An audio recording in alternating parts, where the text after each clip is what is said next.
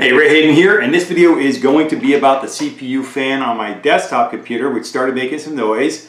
Um, I didn't think that it was this fan, I thought it was a different fan, um, this one back here, um, towards the back of the computer here. I thought it was this fan that was making the noise. I thought it was a balancing issue or something like that, and I tap on it and the noise would stop. And I'd think, well, that's that's it, because this noise stopped, that was it, but not, not quite the case. Um, as I looked around and listened a bit more, took the case off the top of the computer, I realized that I basically just took my finger into the computer and, and, pushed down on top of the fan and, it, and, the noise stopped with the fan. So uh, everything stopped and it was like, okay, well, identified where the noise is coming from because there are a number of fans in the computer.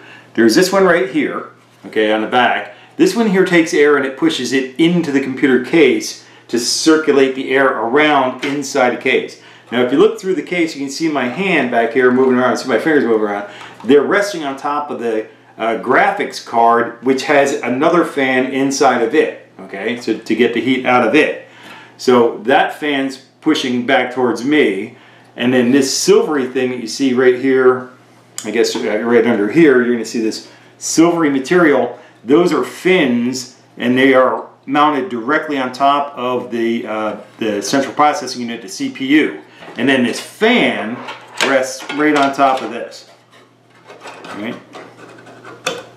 Actually has little placeholders here. So, but then it also had screws. You screw the, you screw the thing down with screws. All right. So, uh, but but this fan goes right here. The power for it goes plugs in right right here. If I can kind of use this as a pointer.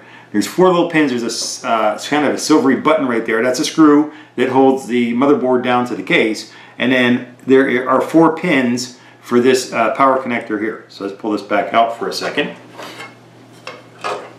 Out.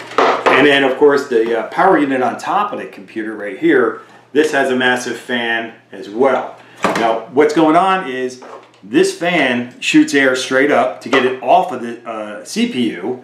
This fan that's in the power unit uh, takes the air and it blows it down. So these two fans are blowing air towards each other in a very tight space and then this other fan that I have on a computer is basically sucking air into the case uh, through here to circulate it around to get it to go out all the other vent holes I have uh, for the various uh, fans and everything else. So uh, that's going along pretty good. And then this, this uh, power unit here also has this, this uh, large screen on it to help get the air flow through to get the heat out. So that's, that's what the whole thing's all about there. Get the heat out and away from the delicate products, components on the CPU fan, and I'm going to talk about, I'm going to move the computer over to the side for a second, or for, for the rest of the video actually.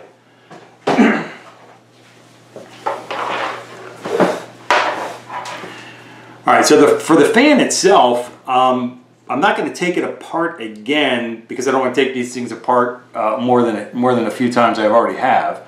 In the very center of this, you'll see a white ring inside, and then inside that you see a little dark pin. You can think of that, what you're looking at, as a screw, like it's on top of the cap there, and it's, but the other direction. Okay, so kind of think of it like that, but it's a smooth, it's not a screw, uh, it's a smooth uh, pin, and that's the very center of that. It is connected to the top of the fan, and that is the piston on which this thing spins around, like the axle of a wheel or something like that, you know, it just that's where it spins around.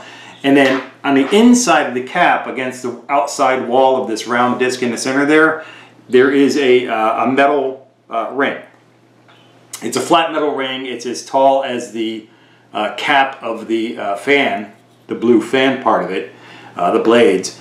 And this is 11. It is an 11 blade uh, cap. Not, I'm not sure any of that even matters, but you know, just what is I counted because I was wondering how many blades are there? Anyways, so um, that ring is there, and then there's that pin. That's the only thing that's in this, in this blue. Nothing moves. I mean, other than this thing spinning around the way it is, and that's because it's sitting on top of that um, piston, right? Or the piston sitting inside this groove, all right? The only other thing that goes on here, there's two things, two other things that go on here. One is a little rubber grommet that just, you know, fills that space right there, and then the other thing covers all these little holes except for this uh, thing down the side here. It doesn't cover these wires, but it just covers the center part of this, and it's a little uh, sticker that you might see on there, right? Now the sticker, of course, as soon as you remove it, kind of loses its stickiness, and I'm not too concerned about that, but I am concerned about that center part because that's where dust can get in there, and then help make, you know, get things clogged up a little bit so this fan makes noise. Now the fan is spinning around, it's making no noise right now. I got the microphones on the camcorder right in front and you don't hear anything on that while it's spinning around. But when, and, and it sits in the computer like this, so it's not sitting sideways or anything like that where it's like weighted, it's just resting on itself and um, you know, it's making no noise. But it was making a lot of noise inside the computer, so yesterday when I had taken this thing apart and tried to get it all cleaned up, I did the same thing that I did today, and I used a whole bunch of these um, you know, uh, cotton swabs, and I cleaned everything out, cleaned all the fan blade, you know, cleaned the fan blade and, and the casing around and everything, and I cleaned it all up, and I just used regular alcohol, the rubbing kind, not the drinking kind, and I just uh, go ahead and clean that all up with that, It's just stuff you have, have around the house. But yesterday I used grease, and the grease that I use, I use a light coating of the grease because I figured grease is going to hold up longer to, you know, more usage and everything else, more spinning of the fan. Uh, that was my thought process. It's probably a bad one though, because after a few hours, the fan started making noise again. So for today's experiment, uh, what I've done is I did a different deal, and it goes along with like back when I was in the military when we had to clean our firearms. You know, every now and then we'd have to clean them, and if we made the armorer mad when we were turning in our weapon, they'd have a cleaning day, and we'd all have to clean our weapons because we made the armorer very angry with us. But anyways, uh, the thing with those is the same with, with, computers. It's a delicate instrument. Firearm, believe it or not, is a delicate instrument. And if you put too much oil on the internal organisms, uh, the uh, mechanisms of the weapon, it can get dust in it. Dirt, dust, stuff gets stuck to the oiling that you've done, and it makes it like sandpaper inside of the firearm, and it's not going to work when you need it to work the most if that day should ever happen. The other thing that you have is if you don't put enough oil or no oil at all, over time what's going to happen is some rust is going to develop or some kind of corrosion.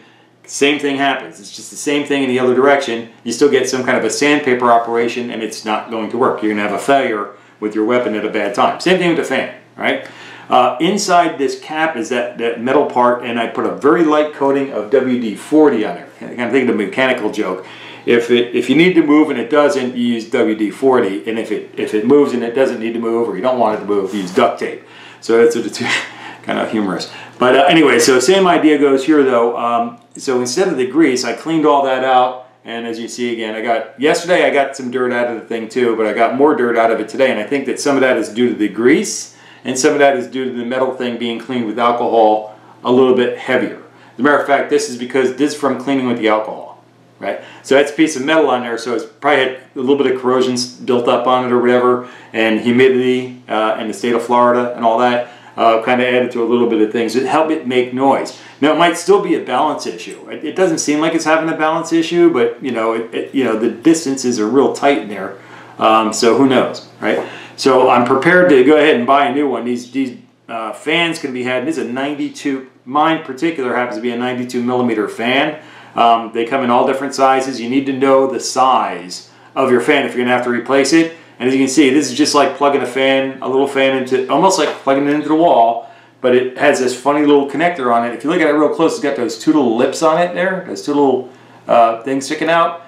Those uh, go on a slide. There's a little piece of plastic inside the computer, so you can only put this in one way. If you try to put it in, it's not going, it's going the wrong way, you're breaking it. So if you have to force it, you're breaking it. Stop what you're doing, rethink about it, make sure that you have the thing set up the way it has to go to plug it in properly. So what I did is I put this back in today. After I did that, I just took it back out again. And the reason why I'm not taking it apart is I don't want to keep taking these little pieces off the back and breaking them and then having to buy a new new fan. But if I need to buy a new fan, I'll do that. But I'm going to put this back in here now uh, but I had it in there a few minutes ago and I had it turned on, powered on the computer, and it, it, was whisper quiet the way it's supposed to be. So I think that every now and then, like once a year, six months, or you know, six months or a year, uh, take it apart, clean it up, you know, get all the get all the gunk out of it. There's any gunk up in there or whatever, take that out, clean that out. Use a very light coating of uh, WD-40 on there, maybe once or twice. Make sure it's got a, a you know a decent you know uh, cycle going on to it and everything's working power it up, check it, and everything's good, we're good to go until it starts making noise again, and hopefully not. If I stay on this, it's pre preemptive uh, maintenance, preventative maintenance. If I stay up on it well enough, what'll happen is I won't have to worry about it. I'll just you know take the thing out, take it apart a little bit, um, cleaned it up, put my little you know rubber stopper in the back to keep the dirt out and everything else. And if, if not enough dirt gets in there to make a noise, and I keep a cycle of cleaning these fans and stuff and the inside of my computer up to date, then I won't have a problem. I'll prevent having a problem in the first place. But if the fan goes bad, no big deal. I'll just take it, uh, you know, buy a new one and, and, install it when it gets here. And if my computer's down, I still got my laptop that I can use to make videos and things of that nature. Anyway, that's going to wrap it up for this one. Don't forget to give me a thumbs up, like the video, make a comment below, let me know you came by to say hi. And if you haven't already done so, please hit the subscribe button and join the network. I greatly appreciate the growth on the YouTube channel. So until I catch you in the next video, take care and be well.